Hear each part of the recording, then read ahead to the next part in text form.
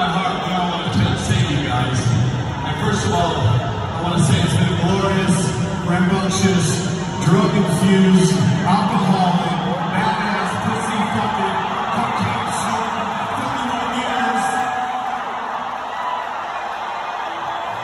And thank you guys for putting up with us and waiting for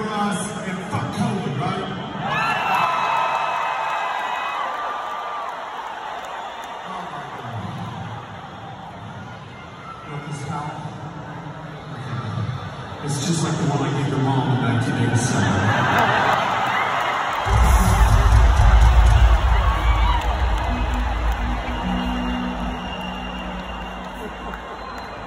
It's probably true. I'll get that towel at the summer shop. So, for those of you who don't know what it's like to be a band,